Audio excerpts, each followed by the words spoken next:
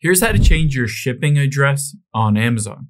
Open up the Amazon app on your iPhone, Android, or go to Amazon.com.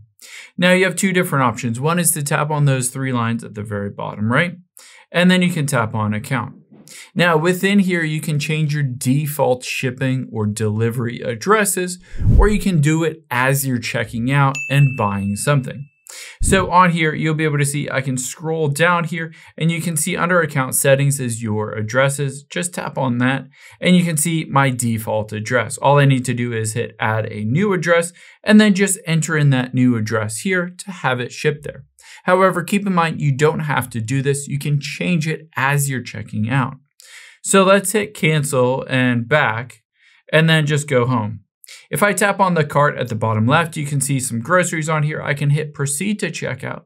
And instead of going through this address that is default on my account, I can just hit the change delivery address right here. After I've done that, all I need to do is choose another delivery address that is automatically on my account or hit add a new delivery address. And by doing this, I can just enter it in here. And then after I've entered it in, it'll be shipped to that new address.